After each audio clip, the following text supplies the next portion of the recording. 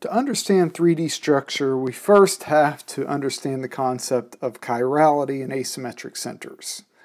Um, asymmetric centers are also um, referred to as chiral centers and sometimes even stereocenters, but later on we'll look at the difference between the two.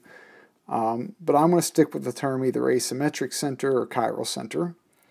And what that is, is it's a specific atom typically carbon that we're going to be looking at, but an atom that's bonded to four different groups. And the key here is different.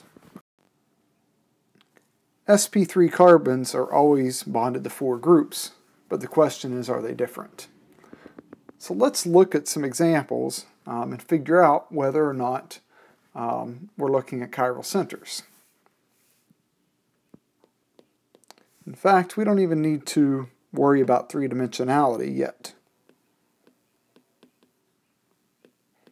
the first one, this should be pretty straightforward. So if we look at this and look at the groups around the carbon, you have a hydrogen, an OH, a Cl, and a Br. Those are, of course, four different things. So that particular carbon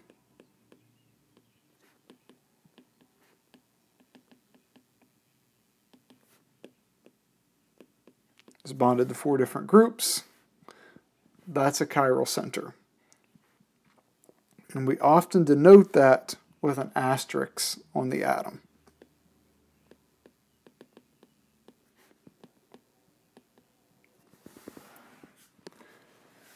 Okay, how about this one?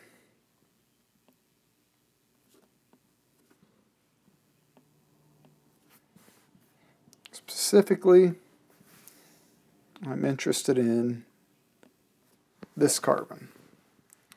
All right, when thinking about this, my first recommendation is that you draw in any implied hydrogen on the carbon you're examining. So this carbon has one implied hydrogen that I'm going to go ahead and draw in.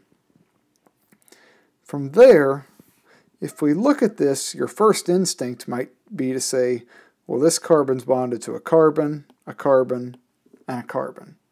Three carbons, those aren't different. But you need to take the group as a whole. Anything that makes that group visually different is enough to consider it a different group. This one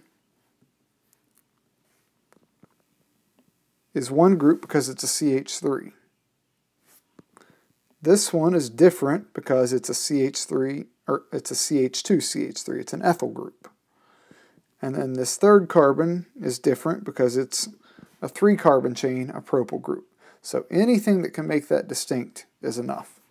And then our fourth group is the hydrogen. For that reason, this carbon is bonded to four different groups. And we're going to mark that with an asterisk to show that it is a chiral center. All right, one other term that we can kind of take in here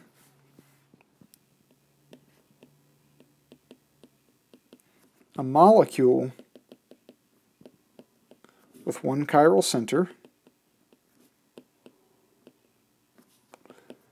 is a chiral molecule.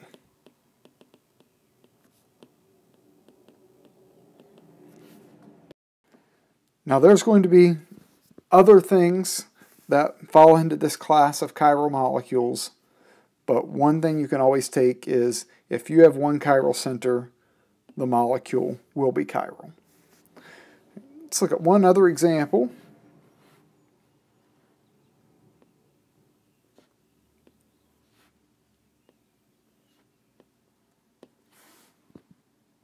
Right, if we look at this one here, and we want to look at this central carbon, right, what you should immediately recognize is that these two are both ethyl groups. They're the same.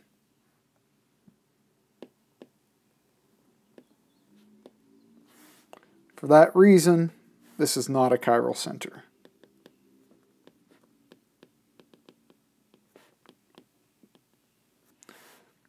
Okay, and that's also why you know you never have to worry about CH2 groups being chiral centers because there's always two hydrogen there, so there won't be four different groups. Now I have one here for you to take um, a couple of minutes to try. So go through this molecule carefully and look and see if you can identify all of the chiral centers and then decide how many there are.